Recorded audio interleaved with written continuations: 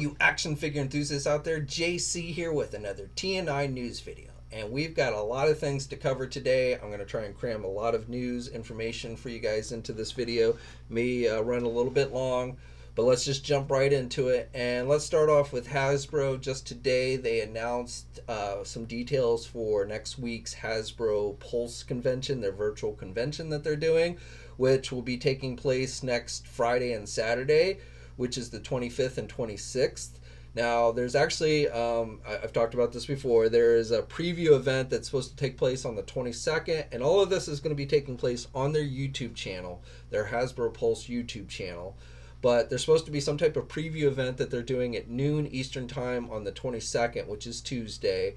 And then, of course, they're doing the exclusive sales on Wednesday and Thursday for those who pay the 50 bucks for the pre to become a premium member. You'll get your first shot at them on Wednesday, and then the rest of us will get a shot at the exclusives. These are the exclusives that would have been available at San Diego Comic Con. I'm not going to go over all of them because I, I've talked about these before but those are going to be going up on Thursday at 12 noon for the rest of us. It's one per household, so hopefully they won't sell out instantaneously. Um, I feel like if you're online around that time period, you'll probably have a fairly decent shot at getting whichever exclusives that you want to actually get. I, I don't think we're going to see them like sell out in like three seconds. Hopefully, um, I won't say that 100%, but but that's my feeling. But then the main event starts on that Friday, and today they announced what days uh, for the panels that they're doing. They also now they're doing they have a bunch of guests, uh, some uh, music bands, uh, and some celebrity guests, people like John Cena, who's been in the Transformers movies, and and and uh, the actor who's playing uh, Snake Eyes is is going to be one of their guests. Ernie Hudson from Ghostbusters is going to be a guest. So they've got some celebrity guests, some music bands where, that are going to play some, you know, some some music during this thing.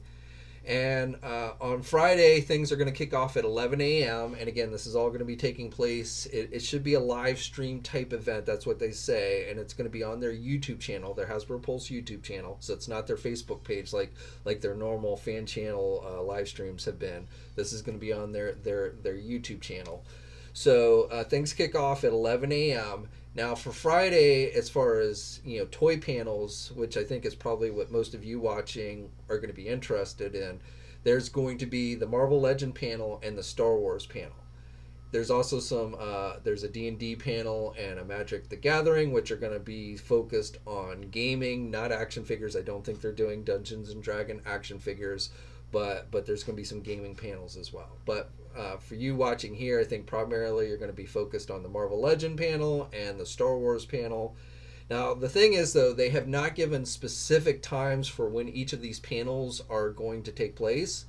It's kind of like they just expect you to watch the entire thing. You know, they say this is going to start at 11 a.m. and go to around 5 p.m. Eastern time, so that's six hours of content that they're going to be streaming on on Friday. And so right now, unless you know they come out at a later date with more specific times, you're kind of where you're either just going to have to watch through and you know if you've got six hours to spend or you know wait for somebody like me but i'm going to have to watch all of that stuff unless they come out with more specific times so that i can cover the things that i know you the viewers and readers of, of the websites are, are most interested in so I will be doing that. And of course, I'll probably, if you follow me on social media or what have you, I'll be doing shout outs saying, you know, the Marvel panel's about to begin or the Star Wars panel's about to begin or what have you. So, um, and of course, we will cover, you know, highlights of those panels on the websites, you know, TNI, Marvelous News, Jedi Insider, Tformers.com.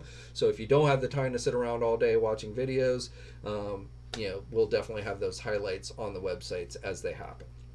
So that's that's Friday is the Marvel and Star Wars, and then Saturday is uh, Transformers, Power Rangers, GI Joe. Those are all having panels. Now Ghostbusters they have on for Saturday, but then when you actually look at their panels that they're doing, they don't list a Ghostbuster panel. So I don't know if they're going to do product reveals for Ghostbusters at this uh, event but there are power. There's two Power Ranger panels. One that focuses on the toys, and the other that focuses on the entertainment portion, the TV series, and everything. There's tra- multiple Transformer panels, and then there's the GI Joe panel.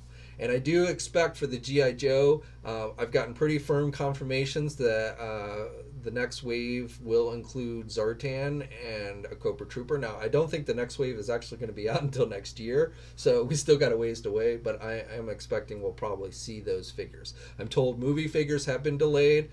Uh, this isn't 100%, but but this is uh, from sources I've been checking with.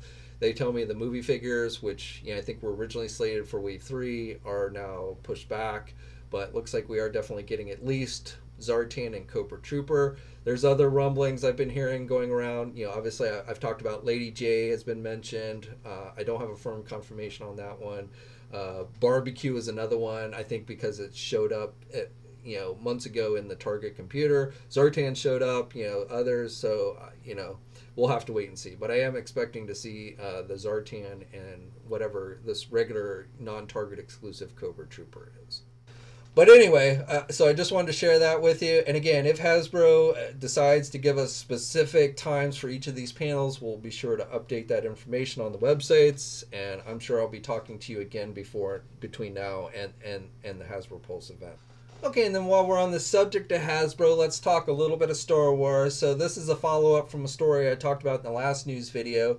So I told you last time that there was a Black Series figure based on the Mandalorian TV series of the Armorer. There's also one of the Incinerator Trooper. But since I last talked to you, uh, some out of the packaging images for the Armorer figure. These come from Kylo Collector on Instagram and uh, he gra- he got a hold of some images that I don't think these are his specific images, but somebody who has this figure in hand sent him images of the figure out of the packaging. And with these new images, you can see that uh, yeah, the figure does have the fur piece. It's not. It, it is plastic.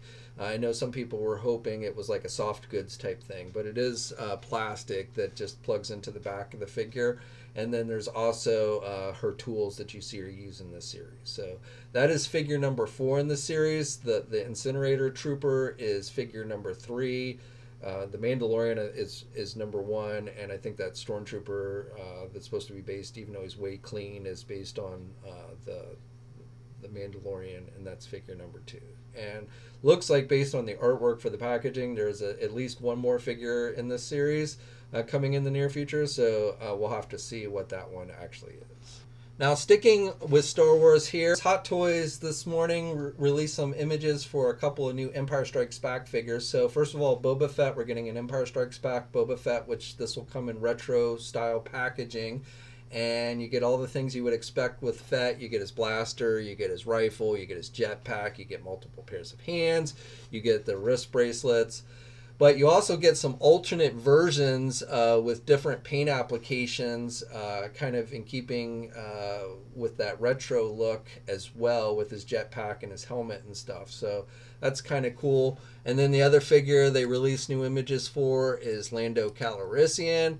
So he too is going to be in you know retro style packaging. He comes with a stormtrooper blaster. He comes with a Bespin type blaster. He comes with multiple pairs of hands, a flight stand, a backdrop that looks like you know from a scene from Cloud City. The communicator that he used, uh, and and the wrist communicator or the thing that he tapped to alert Lobot in the movie. So. Um, uh, likeness looks pretty good to Billy Dee there. He's got a soft goods cape and all.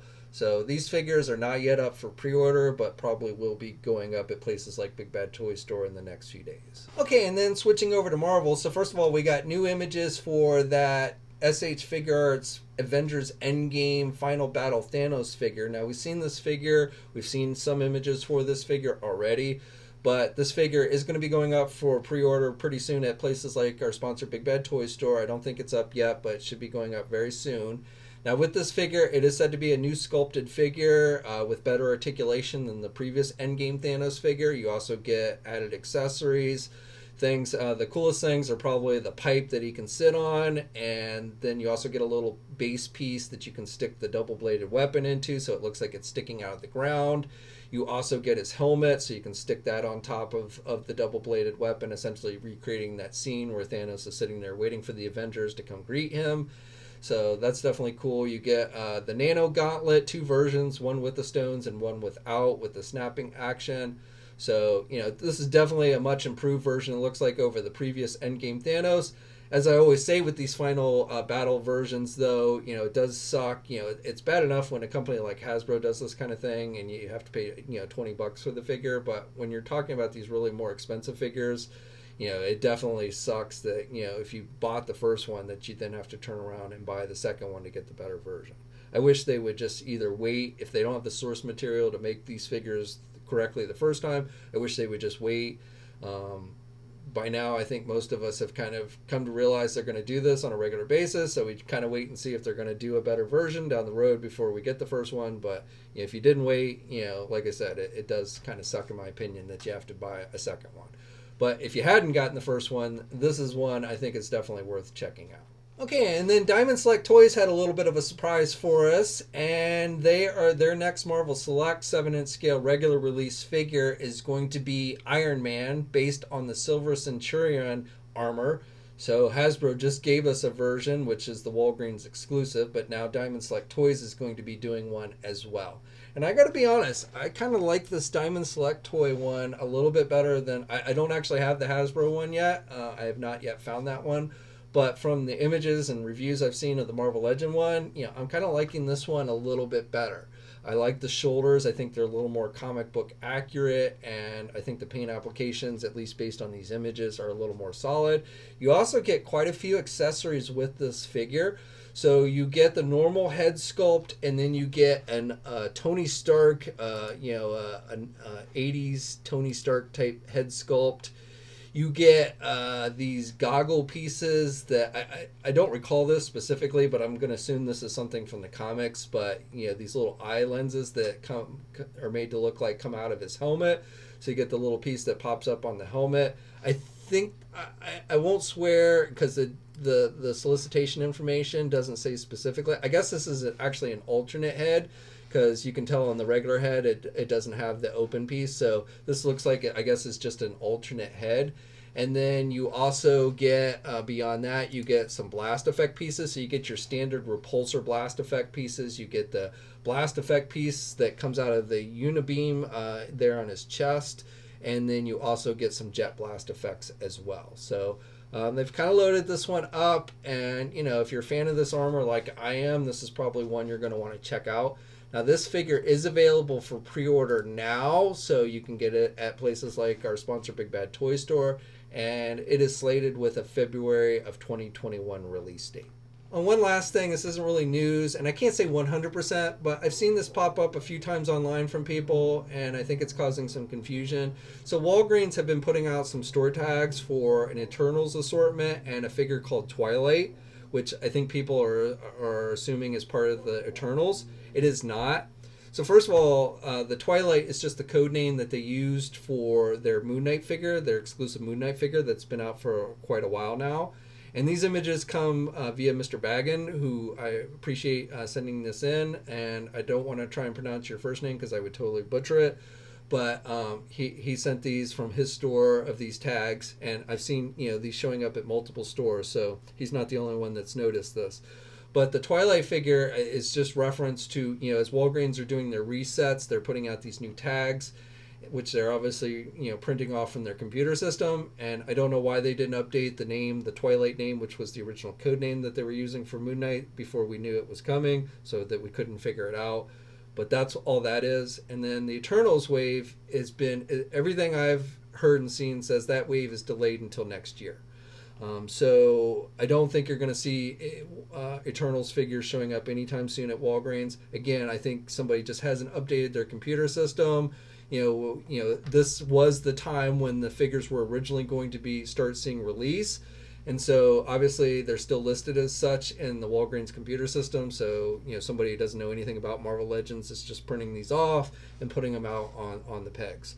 But um, again, everything I've seen and heard would indicate Eternals are not going to start hitting until next year. Uh, you know, I think if if Walgreens was about to start putting out Eternals figures on their shelves, I would almost guarantee we'd already see them by now. Somebody would have gotten pictures of them. You know, we saw that one leaked Ajax figure, but that I don't even think is is coming to Walgreens. Um, but if, if there was a wave of figures that was about to hit shelves, believe me, we would already have seen it um, with these wall. I mean, I am surprised actually that the Eternals figures, which I'm sure are sitting in some warehouse someplace, haven't leaked out more. But but I guarantee you, if if a store like Walgreens was about to put them out on their shelves, we would have already seen them by now. And I've also I've just done checking with other sources, and everything I've heard is you know because of the movie, the Eternals wave is delayed. So.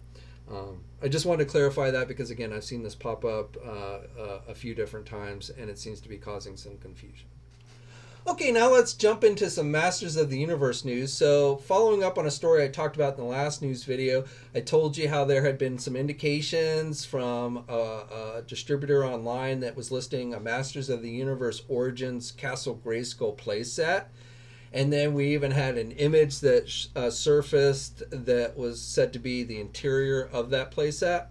Now I've done some additional checking. You know, one of the things that I found odd was that this distributor was listing it the this playset with a November release date, and Mattel had previously told us that you know Walmart would be the only place that that could sell Masters of the Universe Origin stuff for this year. Next year it would be opening up wide, but but this year it was only going to be uh, essentially um, Walmart. Since then, however, so first of all, we've gotten indications that looks like the the Masters of the Universe Origins will be going uh, retail wide starting in November, so a little bit sooner than expected. And the main reason why I say that is Amazon has started taking pre-orders for a lot of the Masters of the Universe Origin figures, which they are listing with a November 15th release date. So figures like uh, mostly like from the second wave, uh, still haven't seen the first wave pop up on there, like He-Man and Skeletor. But figures like uh, Scareglow and uh, um, Man-E-Faces are up for pre-order on there. Man at Arms is listed on there. Uh, Beastman is on there, which is from the first wave. He he is listed on there. There's an Orco figure listed, but it's actually being sold right now through the their international, their Amazon international store. So that means you have to pay more in shipping. So hopefully you'll be able to get it through regular Amazon here soon. Uh, so like if you're like me and you have Prime, you don't have to pay any shipping at all. Uh, it's also, I mean, it's like 15 bucks which is a like a dollar more expensive than than the regular figures. But but like I said, hopefully Orco will pop up as a regular release on Amazon. There's also a placeholder right now for Trapjaw. He does not appear to be available for purchase at this time. I don't think he has been available for purchase or pre-order yet, but there is a placeholder. Now, we have links to all these on TNI. I will put a link to that. So if you want to check out each of the individual links for each figure, if you don't want to try and search around for them as of right now, Trapjaw Trapjaw doesn't even come up on if you just did a search for Masters of the Universe Origins, he doesn't actually pop up. So um, again, it's a placeholder, and the figure has not yet been made available. I suspect the the Castle Grayskull playset might go up for pre-order there soon. And uh, I've also gotten indications that it has shown up in the Target store computers, uh, the Castle Grayskull playset, along with other Masters of the Universe Origin stuff and then I've checked with a few additional sources that I personally feel confident in who have told me that yes, there is a Origins playset. So um, I'm about 99.9%. I was pretty unsure when I talked about this last time, but I'm about 99.9% sure now that, that the playset is happening. Now, I have not been able to confirm from many of my sources the legitimacy of this image that popped up. I'm going to assume it's legitimate, and if it is, it looks like this is just a, a retooled, a slightly retooled version of their original Castle Grayskull playset, not to be mistaken with the larger, more detailed Classics one that was released through Matty Collector. Now, the price point is said to be between 75 and 80 bucks. I think it'll be a little more expensive maybe at the small e-tailers and then places like Target and such will probably have it for around 75 bucks, but that's the price range between 75 and 80. So for a playset like that in, in this day and age, that's not terribly expensive. But again, don't don't think this is going to be like the a reissue of the classics playset that that Matty Collector did for the classics line. This looks more like it's just a retooled, slightly retooled version of the original playset. For you NECA fans, the only thing I really have for you today is they released some new updated images for their 7 inch scale Ultimate Marty McFly figure from Back to the Future. So this is based on the first movie. There's also the second movie, Marty McFly and the, the Biff Tannen, which is actually uh, more based on the second movie. those figures have actually shown up overseas, and there's actually video reviews up. We've posted some images and, and review, those reviews up on TNI. But these are official images put out by NECA for the first Marty McFly figure, which is said to be out in very early October. So, um, you know, this is going to be out pretty soon. Should be available everywhere. It is available for pre order at places like our sponsor, Big Bad Toy Store. Overall, I would say this figure looks pretty good. Um, you know, I think it looks like Michael J. Fox. The only thing, I, my only slight problem with it is the eyes do look a little bit off to me. I think it's the paint on the eyes.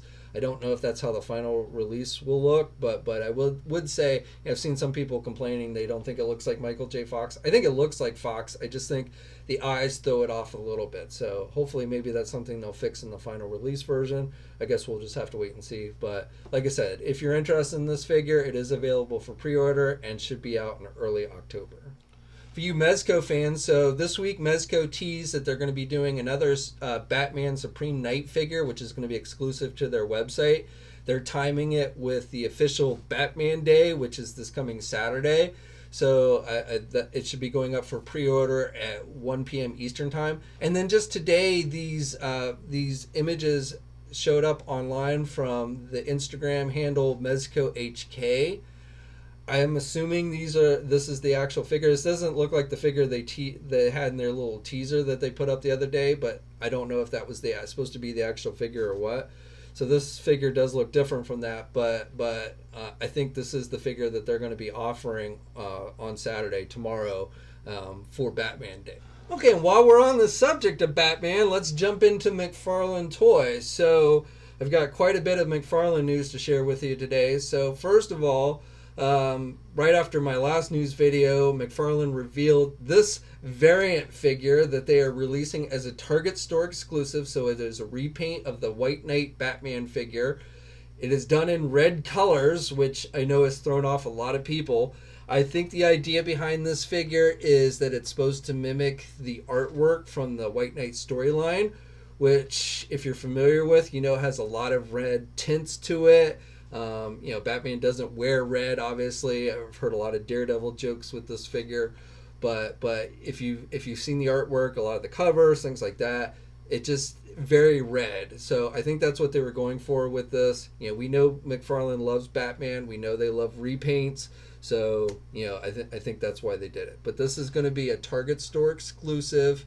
It is going to be out in March so uh, of next year. So it, it is a ways off from from being released. But you know, if you're into all things Batman, this is one you might want to check out. Also, we've gotten better looks at the Arkham Asylum two pack that I talked about previously.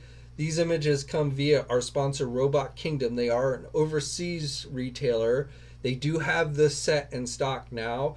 While this set has not been officially announced by McFarlane, so we don't know how here in the United States it's going to be released. Again, it is out overseas, and and if you want to pick it up, you can go to places like Robot Kingdom. Well, with this, you know, we had seen an image that had popped up online the last time I talked about this set. This these new images give us a better look. Now, I'm still not entirely sure what the set is supposed to be based on. If anything, obviously, it's kind of like a battle damage look. Batman's dirty and then you've got the green stuff all over uh, both Batman's sleeve and the Joker, and he's got it on his mouth. Now, the best thing I could find that this kind of matches up to is artwork, which I know technically isn't based on the artwork from the Arkham Asylum video game, but again, this is really the closest thing I could find with the green around the Joker's mouth and such. So I don't know if this is what they were kind of paying tribute to. Obviously, the figures, you know, the artwork's in black and white and the figures are not. So, you know, again, this may just be some random thing that they decided to do. Uh, they liked the green and, and, and went with the battle damage. But if and these are just repaints of of uh, the previous figures that they done. Originally, I thought this was using the head sculpt. I thought the Joker figure was using the head sculpt of the one that's used on the the bronze chase variant Joker, which is a little bit different from the regular release version. But based on these new images, best I can tell, this is actually just the same head sculpt that they used on the previous uh, regular uh, sculpted uh, figure. So um, really, the only difference with these, you do, it looks like there's an added tire accessory in there. Um, I think all the other accessories that, that we're seeing in these images were included with the original figures. And then like I said, you get the paint variations. And then finally for DC, this one we'll treat as rumor, but it is a new listing that showed up on an overseas retail site. I talked about in a previous video how um, you know we saw last weekend McFarlane revealed a prototype for the DC Metals Batman, um, the Drowned figure and so we know that figure is definitely coming. And then I told you about how there had been overseas listings for two other figures to essentially ship with that figure, which were the Red Sun Superman and the Damian Robin. So I don't have any more details on, on those to share with you, but I do have a new wave of figures that has shown up. This is going to be another build a figure wave if, if these listings are correct. And again, these have not been officially confirmed by McFarlane. But these are said to be based. These this wave is going to be based on the storyline, uh, the Batman: The Last Knight on Earth storyline, and you know this uh, series. It was written by Scott Snyder and features artwork from Greg Capullo. Um, he did some of the covers and stuff. So um, the figures that are slated for this are Batman, and again, these are all supposed supposedly going to be based on you know how they appeared in the storyline, which are kind of you know their alternate versions of, of these characters essentially. So Batman, who I'm guessing will have the severed Joker head because that looks like something that would be, would be right up McFarlane's alley. We've got uh, Wonder Woman with uh, the Mohawk type look, and we've got uh, the character named Omega and then uh, the Scarecrow is the final regular figure in the wave. Now, in that story, which I haven't actually read, but I did a little bit of research, and you know, I think Scarecrow uh, and and Bane were kind of uh, you know Scarecrow rode around on Bane's back and such. So the build a figure for this uh, wave is said to be Bane. So, um, which looks very much like you know, pretty much like a regular comic book version. So I'm guessing it's going to be the same size as like the Devastator figure. Uh, so you know should have a good size to it. So even if you don't like these alternate versions of Batman, you know I, the Bane figure might be one that you want to check out.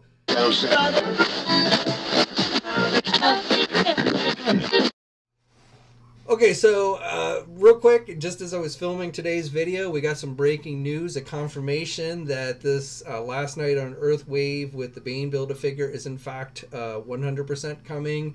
Uh, Todd McFarlane has now released a video showing off some of the prototypes, and they've also released some official images of the four regular figures. Still no image yet of the Build-A-Figure, the Bane Build-A-Figure, but Todd in his video says that the Build-A-Figure will be as big as the Devastator, which is what I figured. Uh, the the Batman figure will come with the severed Joker head, and and Wonder Woman's got a helmeted head and an unhelmeted head. So um, these are definitely coming though, and so uh, I just uh, breaking news as I was filming uh, this video. Okay, and that's it for DC, but I do have a couple other bits of McFarlane news I wanted to share with you guys today. So, first of all, this week we got some reveals for additional Witcher figures based on the Witcher the Wild Hunt video game. So, we knew these figures were coming, they were listed. Um, there's the regular version of the, the Geralt figure, we've got the Walmart exclusive one that we'd previously seen. This is essentially a repaint. It is the same figure if you look at it closely, but I think they've done a pretty good job with it. You know, making differing it up. So even though it's essentially the same uh, figure, you know, it looks it looks uh, you know pretty good. If you're a fan of this character, you probably will want to end up getting both versions of these if if you can find them. That is. Again, the other one's a Walmart exclusive, so that one's probably going to be the harder of the two to find. This one will be released everywhere. Uh, the, this figure, along with the second one they revealed, the glass figure, which I think looks pretty good as well. These both both of these figures are slated for release in March 2021. And with the second figure, you know, I think the detailing's nice. He's got the sword and everything. So um, again, if you're a fan of, of this particular property, I've seen the series. I've never played the Witcher video games, but I, I watched the Netflix series once, which I thought was pretty good. So um, these again are based on the video game though and I have not actually played the game. So it's not a property I'm super entrenched in, but you know, overall it seems like they're doing a pretty good job with these. And then final bit of news I have for you guys today is on the Dune front. So I told you about these figures. We saw the initial images, but now we have more detailed images that I wanted to go on and share with you guys today for the four regular release figures, the 7 inch scale figures of Paul, Duke, Duncan, and Lady Jessica. And then there's the Build-A-Figure. I don't have an updated image for the Build-A-Figure, um, but do have updated images for the 12 inch figure that they're doing based on the Baron. So um, all of these are regular release figures, and they should be out later this year. Um, the Paul figure is going to come with three knives. Uh, all of them have uh, the masks, which I assume you can put up over their face faces if you want to. Um, but they have the mask, and then they come each come with a figure stand, like we always see the circle base. And then uh, with Paul, you get the legs for the build a figure. With the Duke figure, you get a knife, uh, you get a backpack which is removable, and you get the torso piece with the build a figure. With Duncan, you get two swords and and the arms for the build a figure. And then lady jessica comes with a knife and then she comes with the weapons for the build a figure the i think that's a whip type weapon and a machete type weapon. And then she also comes with the head the Bautista like head for for the build a figure and then the 12 inch figure looks like just has a display base that you can use to make it look like he's levitating in the air like you see in the movie Okay, so that's it for today. I'd love to hear your thoughts on everything I talked about in the comments section below. Like this video, subscribe to the channel. Next week is going to be very busy with all the, the PulseCon reveals and everything that I'm hoping are going to be made, uh, plus, you know, whatever other news breaks during the week. So definitely expect to hear from me a lot next week. Um, but as always, stay safe. Remember the contest on both Toy News International and Marvelous News, where we're giving away $100 store credits. And until next time, guys, I'll catch you later. Hey, thanks for watching today's video and be sure to subscribe to the channel if you haven't already and hit that bell notification so alerted every time I upload a new video. And be sure to head over to the Toy News International and Marvelous News message boards communities. It's a great place to talk toys and win cool contests like $100 store credits to Big Bad Toy Store. And remember, action figures are great.